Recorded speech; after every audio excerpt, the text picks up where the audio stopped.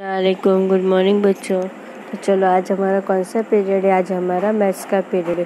तो चलो, अपनी मैथ्स की नोटबुक निकालो।